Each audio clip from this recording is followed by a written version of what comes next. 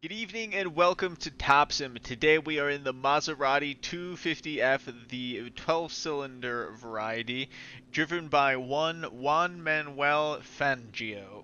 One Juan, we one Juan, one Juan won one race in one. The previously referred to conversation on Discord took place because I took the defense of Lewis Hamilton as the best Formula One driver of all time, and boy was there a lot of pushback against it.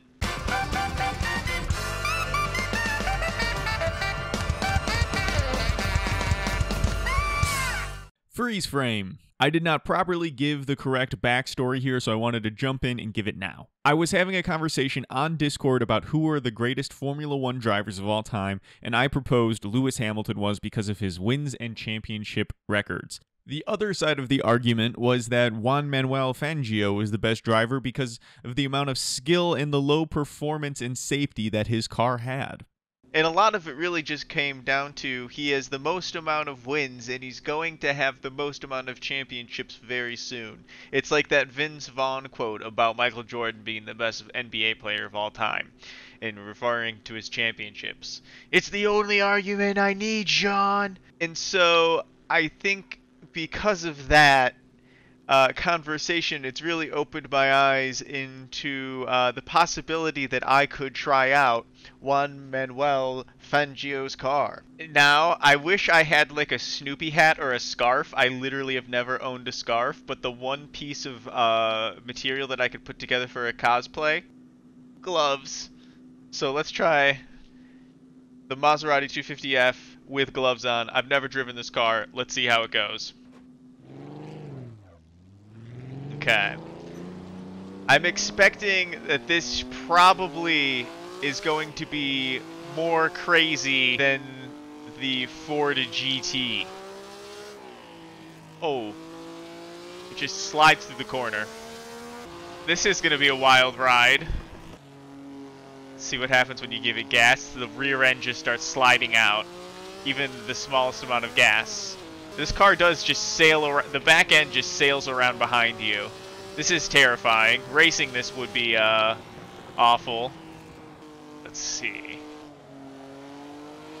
Oh, the rear end. Okay, the rear end does just sail on you. Holy shit, Need for Speed.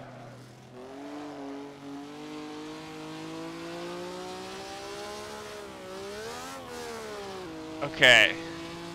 This car wants me dead. Racing this car, I will admit, would be a lot harder than the V6 hybrids we have today.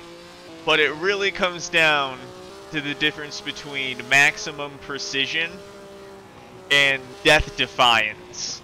The difference between Evel Knievel and Jeff Gordon but nevertheless, this car is just terrifying to be behind the wheel of. I'm afraid to actually go fast in it. Now that we've, you know, completed one out lap, I kind of want to see where exactly and how I can try to push this car in any way. I wonder what the... So this is a 1967 version of Silverstone. However, this car was only used through the 50s. I believe uh, Maserati uh, stopped uh, fielding this car in Formula One in 1960. It ran through, I think, 54 to 1960. Uh, uh, it could be even a little bit earlier than 54. But I would be interested to see what uh, time this car had at Silverstone.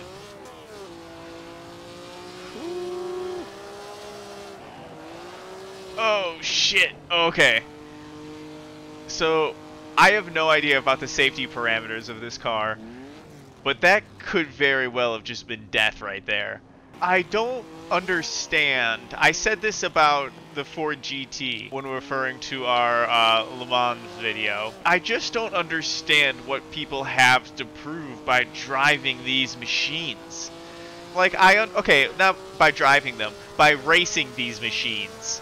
Then again, I guess it goes back to is Formula One today too easy? Does Lewis Hamilton have it too easy compared to Fangio? This car, we're going over 100 miles an hour right now. And imagine doing that with no kind of safety, equipment, I'm sure this didn't have seatbelts. I'm sure you're just sitting on a metal seat. Maybe there's some cushion. But there's no helmet. It's just a hat, basically. There's nothing stopping you from death if anything goes wrong.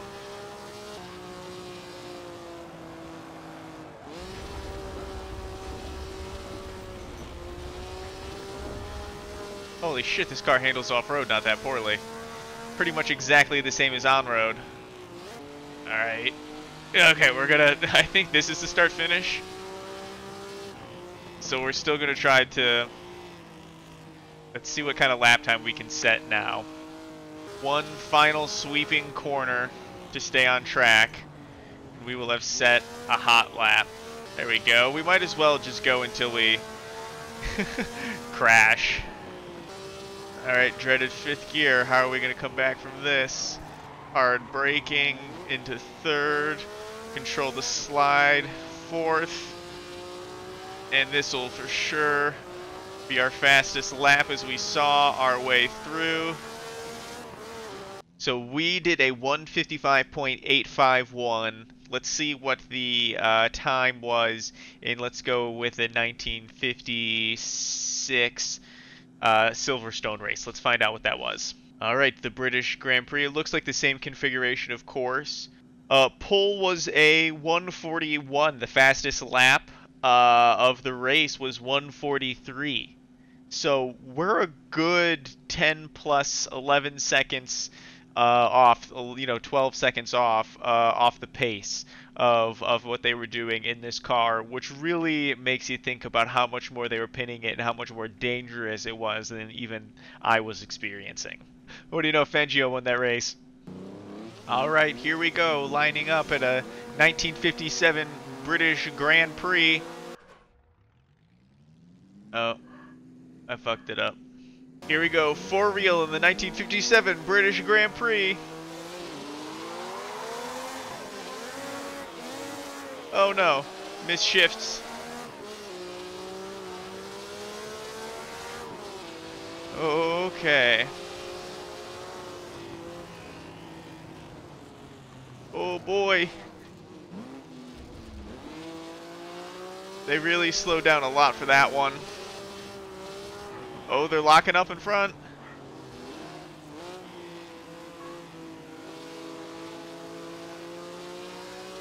Okay. Ooh, okay. Controlling the slide, a little bit of sawing through the corner. Right, we make the, our pass. Oh, we cannot slow down in time. We run into the back of someone.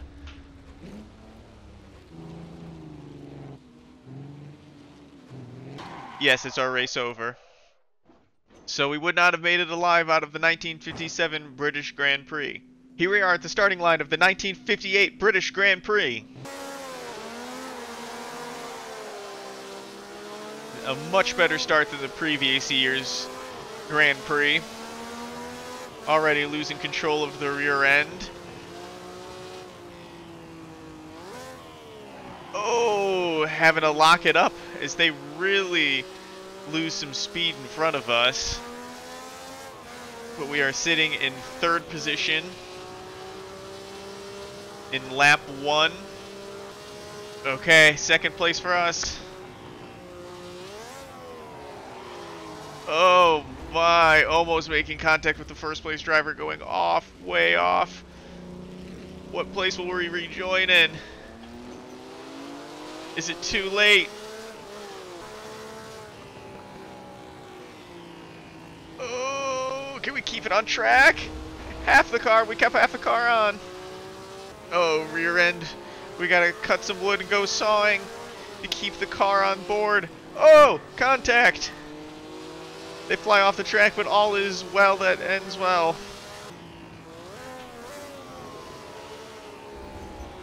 The same corner we went off in. But this time we make up a couple positions. I think a few, rather. I think a few actually is a better description than a couple.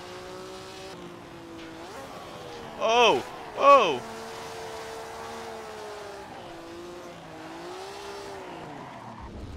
Oh. Alright, so that would have been the exit. of uh, our life. we would have died in the 1958 Grand Prix. I'm starting to see uh, how this is going to go. Our final attempt, the 1959 Grand Prix.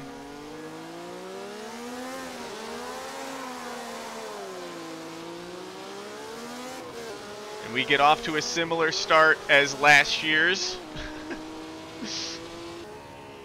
oh, and we suffer the same fate.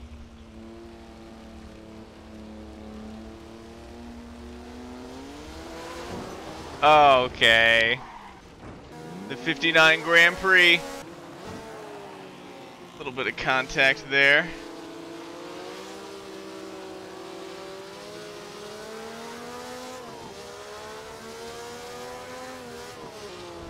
We go off course.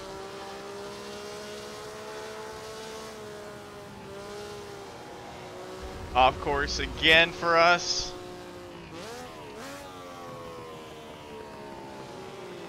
Oh, we try to take the inside line and we make a little bit of contact.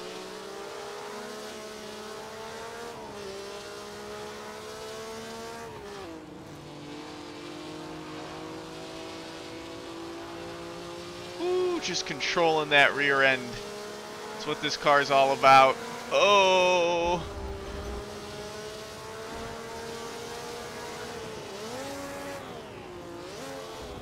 Oh, he really defended hard against that.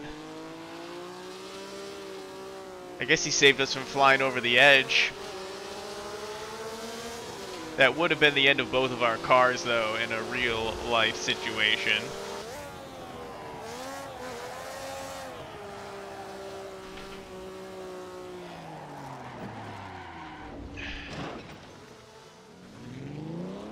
This is fine. This is fine.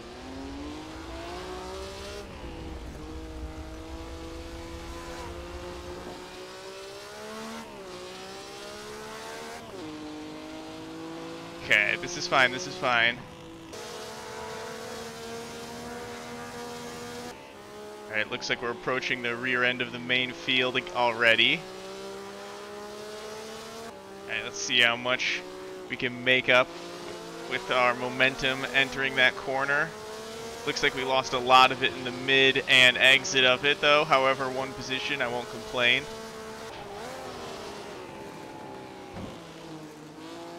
Oh, big crash in front of me. Big crash in front of me. Lucky not to get involved in that. I think we're up into sixth place. Fifth place. This is not where I want to be.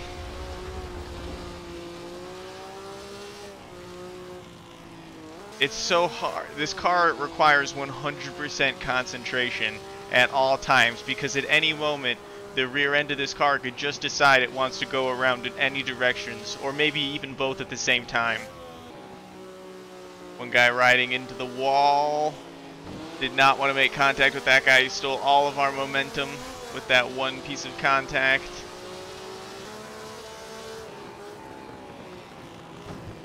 Yeah, we make contact. He flies off, we stay on. How unfortunate. How unfortunate. Oh. Oh. There's no way. Is that, are we all the way up in the second place already? Oh no, there's a car. I see him way up ahead.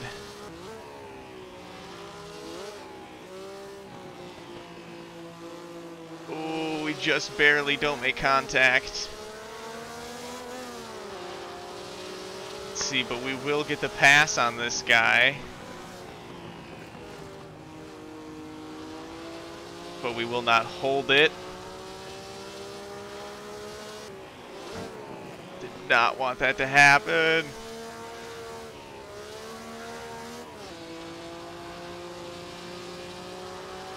Okay, leaders on final lap.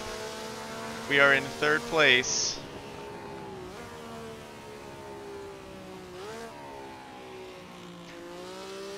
Alright, I believe we just moved up into second place.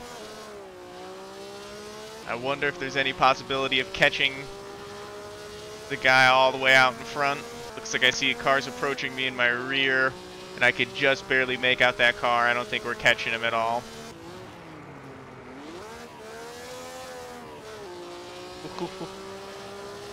Oh, Tokyo Drift around the corner. Sec race plate. Okay. Oh, crashing just after crossing the finish line. Still getting our second place. We're gonna take it.